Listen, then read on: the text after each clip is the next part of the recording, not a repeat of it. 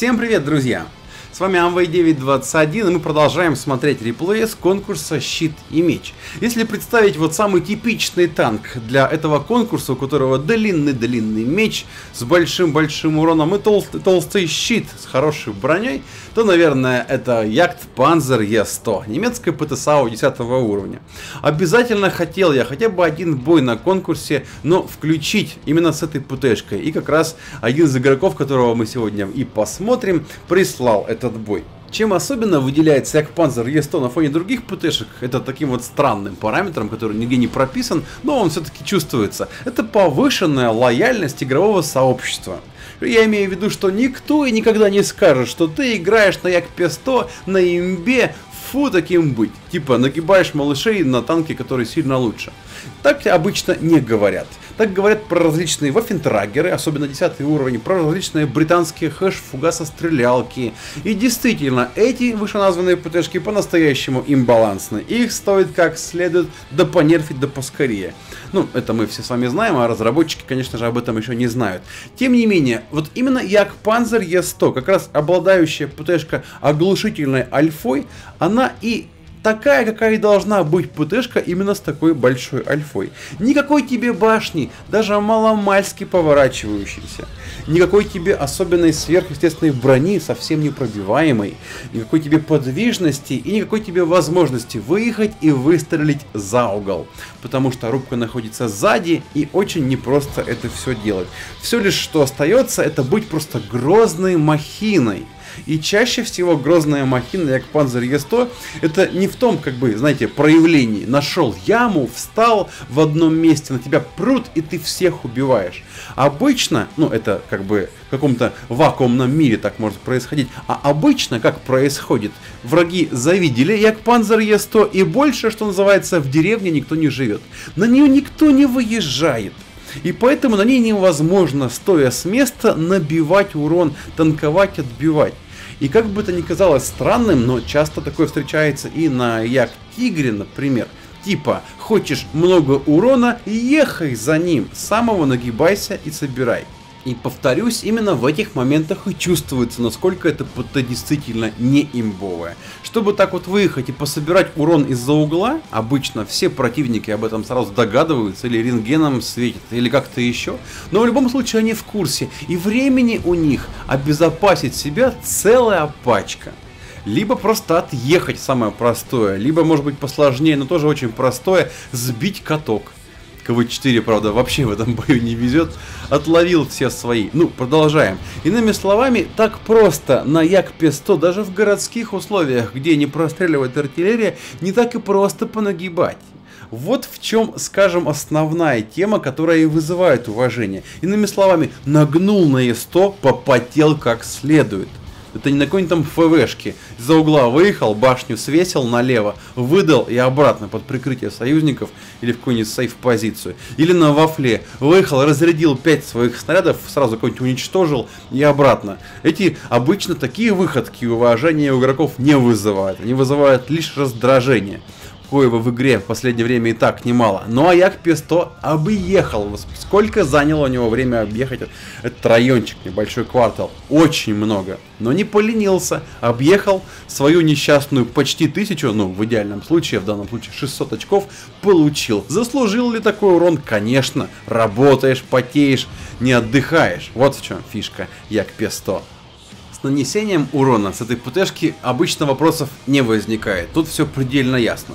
На помощь нам несется еще и довольно неплохая для такого калибра точность, разброс всего лишь 0.35, и хоть и длительное время сведения в 2,7 секунды, но поскольку ПТ довольно медлительное, то, как правило, это сведение начинается не с какого-нибудь там заоблачного размера круга. Довольно все-таки быстро, если сравнивать с какими-нибудь там теми же британскими ПТ. Ну а вот танковать это вопрос открытый для Як-100, потому что нижний бронелист имеет толщину всего лишь 150 миллиметров потому что корпус нам достался такой же, как от Е100 самого обычного. То есть нижним бронелистом ни черта не подбиваешь, он все принимает за глотом. И это плохо. Единственный вариант это пытаться танковать ромбом. Но как же это делать ПТшке, у которой рубка? То есть если вы ставите свой танк ромбом к противнику, то вы сами стрелять не можете.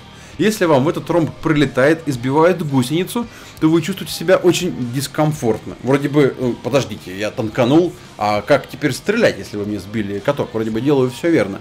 И вот такие вопросы и возникают. И мне именно в этом бою и понравилось, как наш герой действует.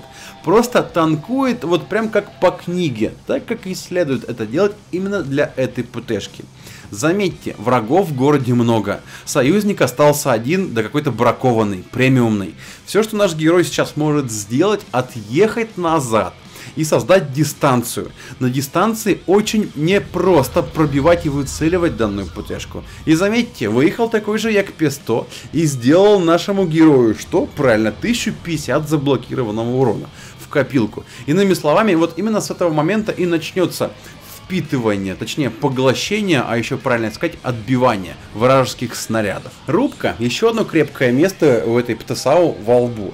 Там 250 миллиметров. Вроде бы кажется не сильно много, но там есть какой-никакой угол, и он превращает данную броню почти в 300 миллиметров. Иными словами, ни одна ББшка всех танков, кроме ПТ-10, туда не проникает. И это почти всегда канает. Если только противнику очень сильно повезет, либо он будет стоять совсем-совсем в упор, либо немножко немножко сверху, то тогда может пробить ББшка. В остальном же туда обычно, если и стреляют, и ну, как бы пытаются пробивать только голдой.